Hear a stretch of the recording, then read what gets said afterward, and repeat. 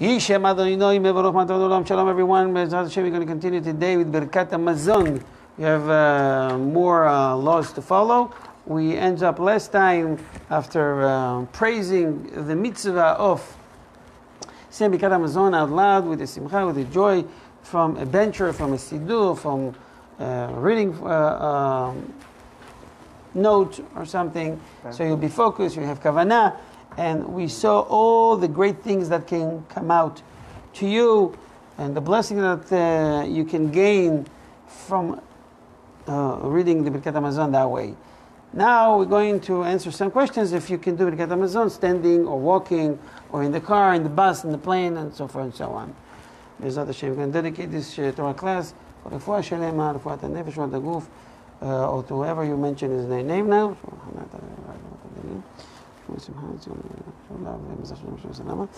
And uh, I want to wish all the participants, and uh, especially the Medina's family, for opening the house to host this uh, Torah class.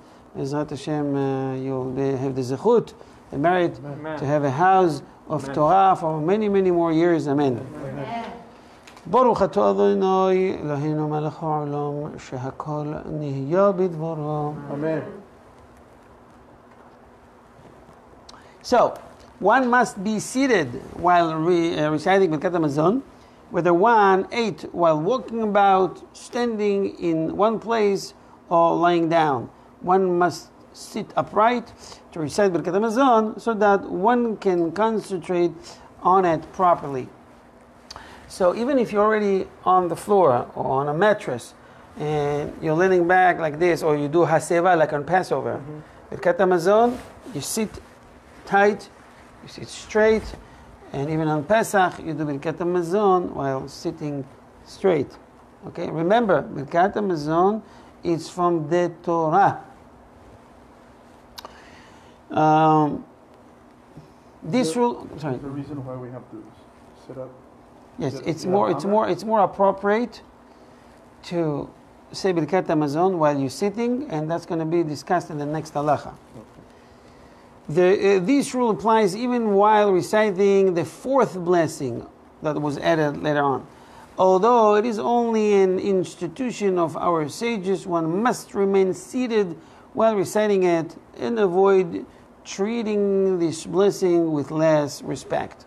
In fact, one should remain seated while reciting the passage of Harahaman. You say Harahaman, uh, so and so. It's a blessing. Whoever hears that should re, uh, reply with Amen.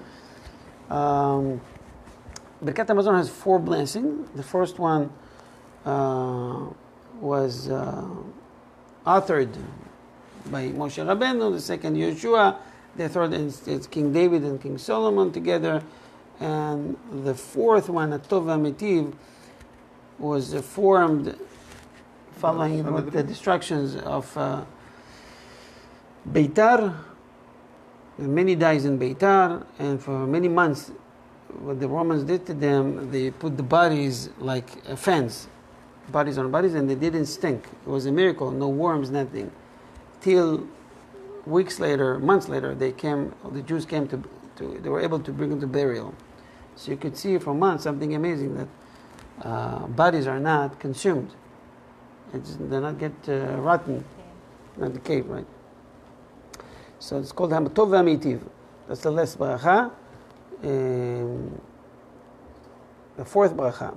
So he was uh, formed by our sages years later. Um, and can. In fact, one should remain seated while reciting the passage of uh, Rahaman and rise from one's place only after reciting the final verse of Oseh Shalom Bimromav Uyaseh Shalom Aleinu Ve'al Kol Israel Ve'imro Imromen. Okay, that's uh, everybody familiar with that. In a situation where it becomes necessary, one may leave one's place while reciting the passage of Ha-Rahaman. It depends, uh, very uh, special cases. Okay. So why I can't lean on my left side like I do on Passover and say? What's wrong with that? What's so different with this position to this position? One must not slouch in one's seat while reciting Birkat Hamazon. Such behavior displays haughtiness in God's presence. Instead, one must sit upright, displaying one's fear of God. Same like when you go, no comparison to the court, and before a judge, you won't sit like that. What's up, judge? Let me talk. Sir. No, you are very careful what you're about to say. You think, you prepare, you, you make sure you have a tie, you have nice clothing. You know what I mean, right? Yeah. Just as one may not move from one's place while reciting the Amidah, we do in, in, in the prayers, in the shul. The same rule applies while reciting Birkat Hamazon. What's Amidah in Hebrew, by the way? Standing. When we refer to Amidah, it means the standing one, the one we do quietly and standing. Amidah.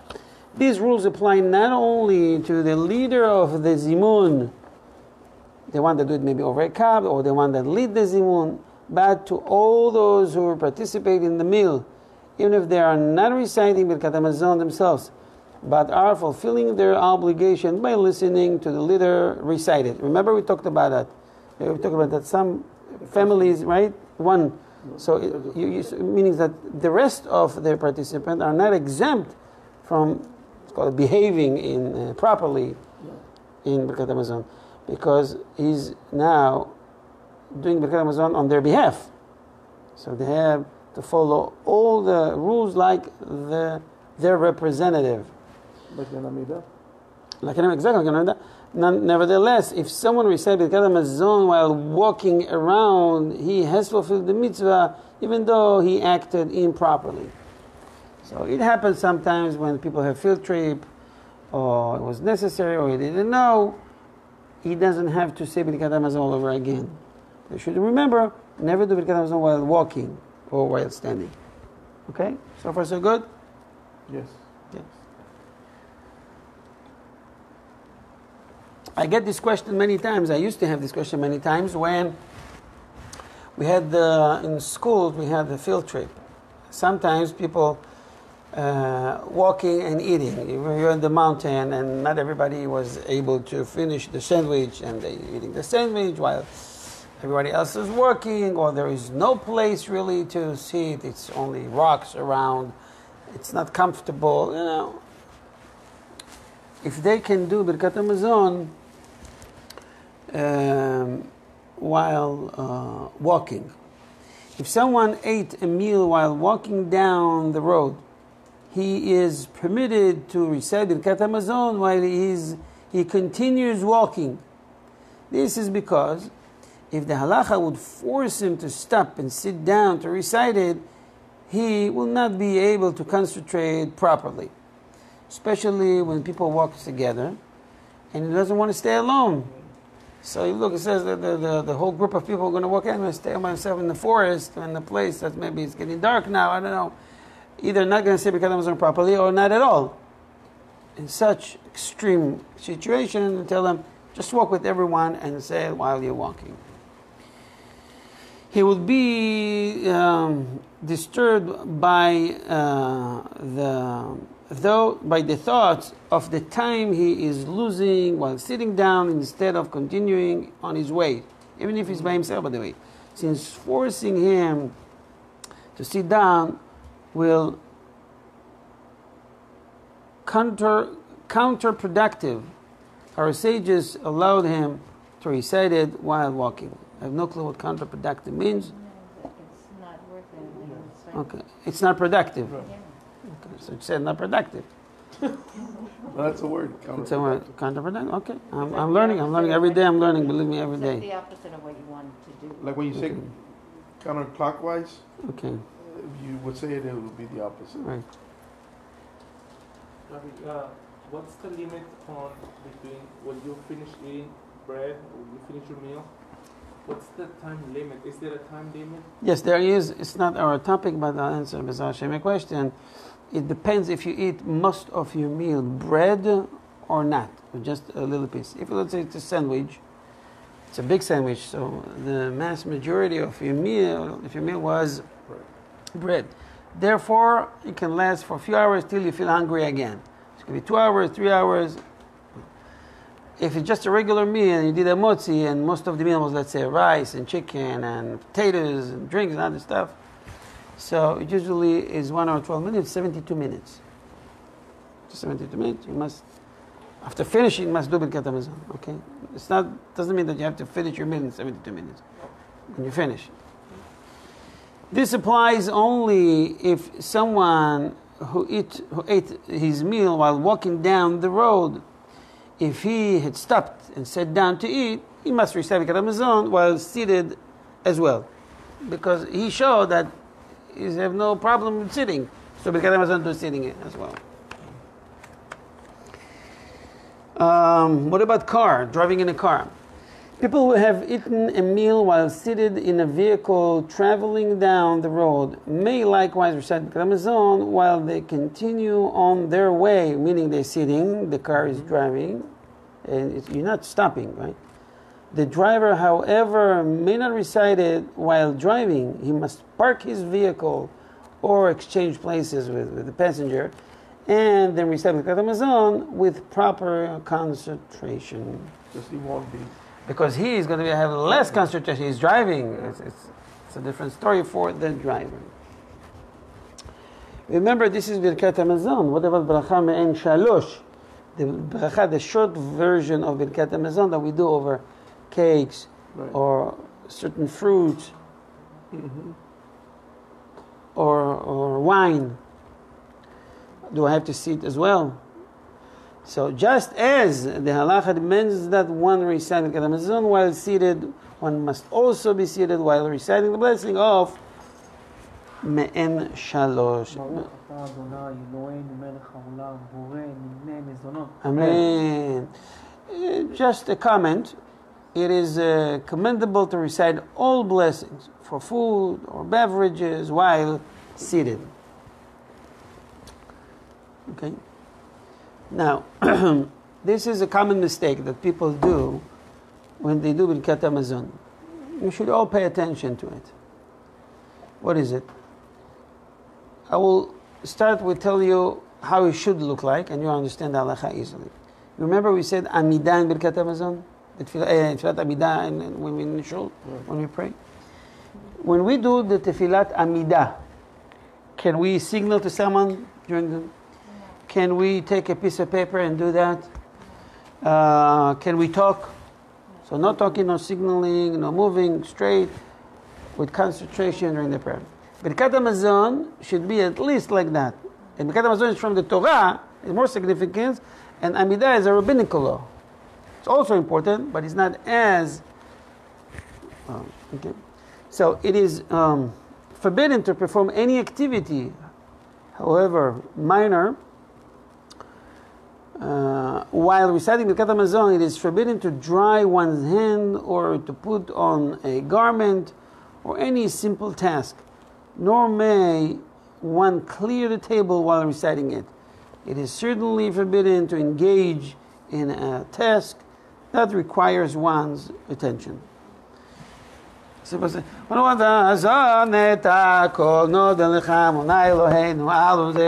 He's davening in the meantime he's killing his surrounding. this is not appropriate. What if he was already doing something like that? Do we have to do Birkat Hamazon over again? If someone did recite Birkat Hamazon while engaged in another activity, he nevertheless has fulfilled his obligation.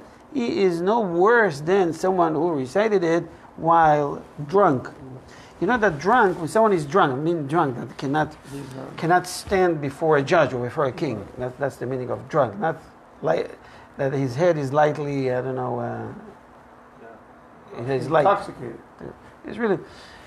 So, in such a case, if someone is drunk and can stand straight, he is exempt from any prayers, shacharit, mincha, arvit, till he gets sober. So far, so good? Yeah. Birkat Hamazon, it's not the case. Birkat Hamazon, you must do Birkat Hamazon even if you're drunk, unless you fell asleep. Why? Because Birkat Hamazon is from the Torah. See, so we not we cannot be lenient in such a case. So one asked me the other day, I'm saying Birkat Hamazon by heart, but while I'm doing that, I would like to um, read something or read the comments on the benchers. Some comments, commentary. You had uh, some benchers at the bottom of the Good bencher. So I would like to read the commentary while I do that. I can concentrate, it's no problem. You can do that. Can I do that? No, it's, it's, it's a little bit tricky questions. I'll tell you why. Because during tefillah and some sidurim, they have words that help you with the kavanah. If you don't read this commentary, you won't understand what you're saying. Right. So it depends if this is a translation of a word or a commentary for the the idea behind the words uh, open your arms your hands potach et yadecha. It's a two different stories. Yeah. This is a commentary, this is a translation to help you understand the meaning of the blessing, the words. Right. So while reciting Birkat Hamazon, it is uh, forbidden to pursue any written material, even it has Torah content. If someone reads anything at that time, he demonstrates that he considers the act of reciting Birkat Hamazon to be incidental and unimportant. This applies not only to Birkat Hamazon, but also while reciting the Amidah or any other blessing. Someone who transgresses this rule is described by the Torah as following the way of Keri, treating the mitzvot as a secondary and incidental. Can we have just a little bit on? Uh, Over there? no, just to turn me. Uh, questions? That help? If, uh, if we finish like in Amidah, if you, if Oh, somebody thank you. finishes, okay, praying, but there's still people praying, they're waiting for the Hazan, can we study something? Yeah, some poskim say it's even better. Because I have that custom. so- Some are even better. Instead of talking with someone near you, Right. focus on the meaning. With the Siddur now, we, uh, we have the Kol Simcha. There's a lot of good commentary that you can read and take advantage. Okay. Take advantage and read the commentary, the translation, and believe me, there's some insights there that you can share on Shabbat table that many people, uh, religious even people, for many years never heard before. Yeah. Okay? So, yes, you can do that. Okay. Uh, I think we can do one more. Okay, this one is a long one. What if it happens in shows, it happens in yeshivot, it happens in places that you hear blessings or kaddish or kedusha or prayers while you do birkat hamazon. You do birkat hamazon here, and there's a prayer over there, and you do birkat hamazon, but in the other hand, there's a kaddish or kedusha that you have to reply with amen. You know, when you hear gadal kadash, you must reply with amen. Okay, but I'm in the middle of something else. I'm in the middle of Birkat Hamazon. Can I stop and reply with Amen to someone else saying ble- blessings? What if I hear someone saying a blessing over fruits? He already finished the Hamazon, he's already in the kitchen, and he decided to eat a banana. I'm in the middle of my blessing, and I hear him saying, Baruch na borei piri adama." Everybody reply Amen. Everyone there, but I heard that. What, what should I do? I'm in the middle of Birkat Hamazon. You Do you understand the case? You can say amen, but in Shema. Isai, you understand the case? Good. he is listening. What do you think, Ken? In, in Shema, in Shema you can say amen. But I think. Uh, No, no, in Shema you cannot say Amen. You cannot stop in the middle of Shema Israel. If you're talking Shema Israel, that in the middle of the prayer you can't. I mean, if you if you said that the Birkat Hamazon must be at the same or at least the same respect as the Amidah, you should not reply Amen to anything. Okay, so taking this uh, common sense, right, this logic, and you apply it to Birkat Hamazon. Let's see if it works the way you are uh, saying it. Just as one may not interrupt the Amidah to greet anyone or to return another person's greeting, one may not interrupt Birkat Hamazon for any greetings. Therefore, if a person is reciting Birkat Hamazon and he hears someone recite Kaddish or a congregation recites Kedusha, he must not respond verbally. Instead, he should remain silent and listen to the cantor, fulfilling the proper responses through the halachic device of Shomea Ke'oneh. Meaning, if he hears the congregation recite Modim de Rabbanan, he should bend Modim his head toward the, the same direction as the rest of the congregation. Whatever you think to respond, it's not verbally, in the heart. The same rules applies while reciting the fourth blessing, Hatov Amitiv, fourth blessing of Birkat Hamazon. One must not interrupt it to respond the Kaddish or Kedusha. It happens almost every Seudah Shlishit. Well, people do uh, already Birkat Hamazon and they hear Kaddish, so they should know now what the answer. The fourth blessing ends with the words, uh, the Kol Tuv, all the best. Among Ashkenazi Jews, the participants in the Zimun complete each blessing of Birkat Hamazon before the leader of the Zimun and then respond Amen to his blessings. Sephardic Jews, however, follow the ruling of Maran in the Shulchan Aruch and do not interrupt any part of Birkat Hamazon to respond Amen to another blessing. It's not like the Yemenite, Yemen is totally different. It's not like this, not like the other one.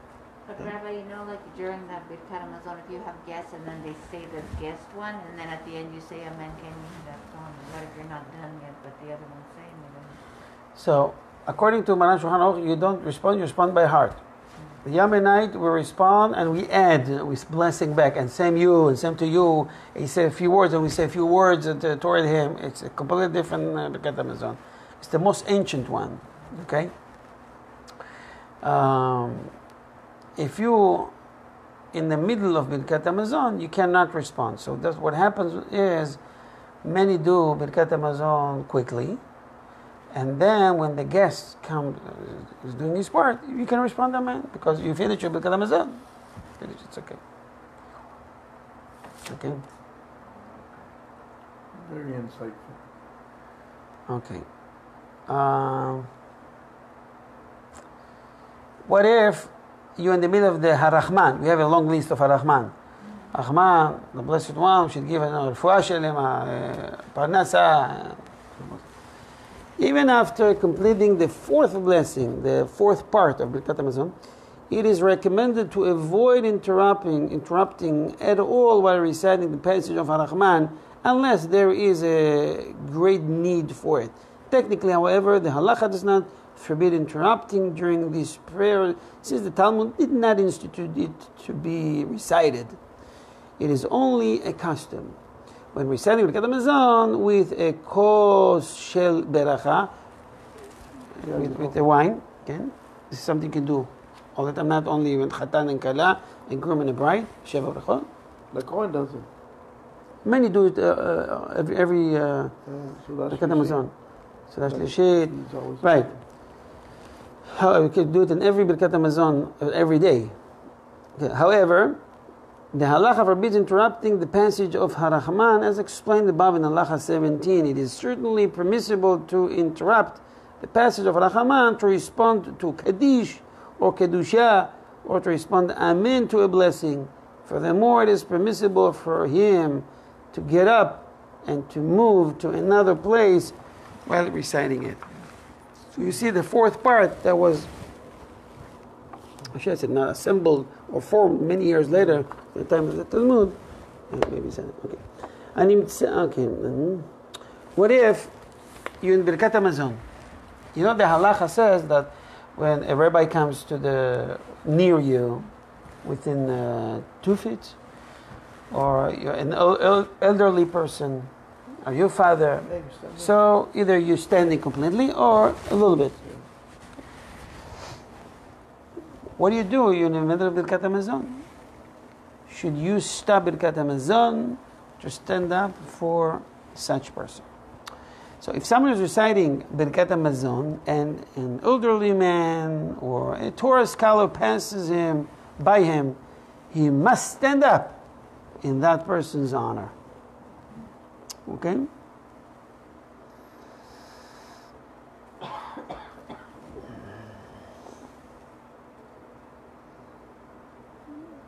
Because that's not going to take the concentration. Right? It's not considered interruption because it's part of Kevod Torah, honoring either the elders or your parents or honoring a Torah scholar.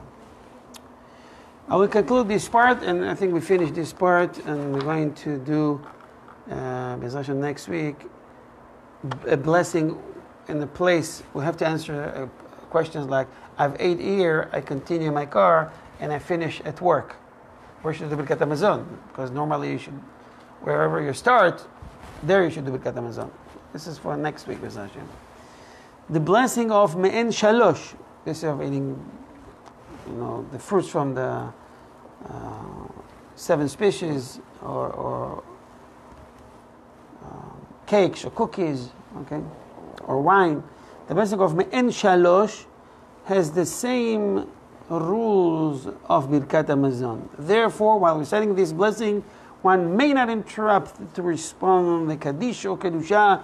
Instead, one should remain silent and listen to the cantor as he recites them. Uh, when reciting other uh, relatively long blessings, such as Asher Yatzar or Borei Nefashot, the rules are that the same as when reciting the Shema and its blessing. That is, one may interrupt the blessing to respond to Kaddish or Kedusha. Okay? So, in any other blessing, you may respond and answer or reply with Amen. Okay? Amen. Any questions? So, I believe that at least one thing today, for some of us, it was a new to learn, right? At least one thing. It was worth it to come. Okay? You should know, especially in the times of like this, when the entire world world is is uh, affected by a plague, and we are at the time that we don't know what is going on. So we are taking the time at such uh, late at evening and studying Torah.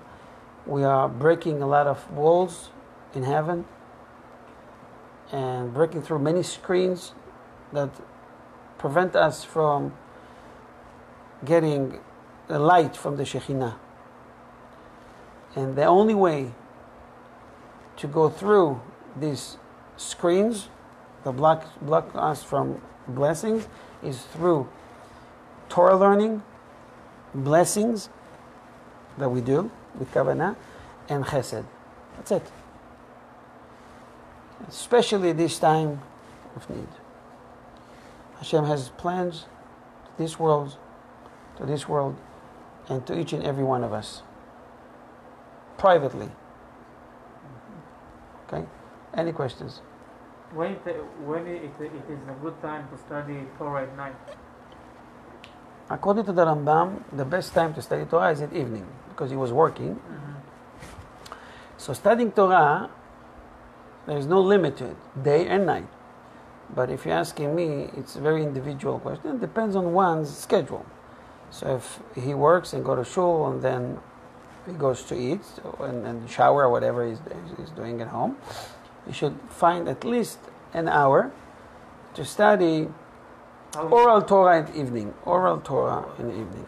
And during the day is regular the Torah, the, the, the Bible with commentary and so forth and so on. Uh, reading Tehillim, it's permitted to do it in the evening. It's a Kabbalistic thing not to read at night.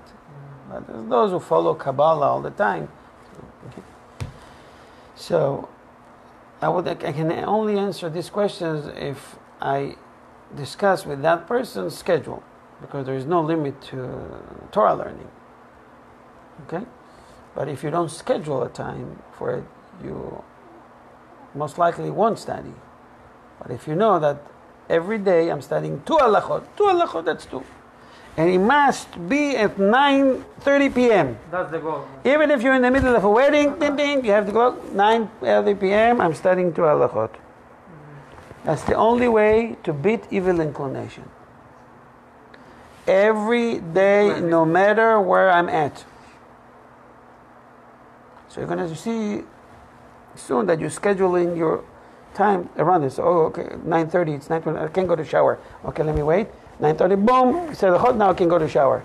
Because if I be in the middle of a shower at 9.30, I'm going to miss that. I'm just throwing 9.30, it doesn't have to be 9.30. Okay, but schedule yourself a time that's convenient that you know you have at least, least interruptions. This is how one can grow spiritually. When I say two halachot, it's so little, um, it's two to three minutes a day. After 10 days, you already have 20 halachot you know. After 100 days, it's 200 halachot that you know. It's amazing. And it's so easy. This is why when we go before God for judgment, He will ask us these things. He says, You have so much time in your hand. You can give me two minutes? Two minutes to study Allah or. What will an answer? We'll be ashamed. I send you this world to work 24 7. Work is good. What about the spiritual side of your life? When we do that, you see that you have more blessing in your life, and, and even the parnasa is easier. Okay? So you have to find a time and a topic, what to learn. For that, you have to consult each and everyone individually with the Rebbe so he can tell you what he recommends you. Okay? Questions? On behalf of Ohev Israel Foundation, I want to bless all of us, Bez Hashem, that will be safe at all time from any plague. And uh, Hashem will give us Bez Hashem as parnasa, livelihood easily. And, huh? Give us uh, help. help with everything, with joy, and uh, the, the merit of Torah learning. And those who support Ohev Israel Foundation, Hashem will bless you with all the berachot in the Torah. And we're dedicated also this Torah class to the Murphy's family for uh, whatever they need in health and parnasa. Hashem will send them a great blessing for all their support and love to Torah. Hashem, see all that. And also to the Rojas family that are helping Israel in many different ways. Um, Hashem bless you all, those who are here and those who are Amen. watching us. God bless. We see you momentarily with our second part of this evening. Shalom, shalom.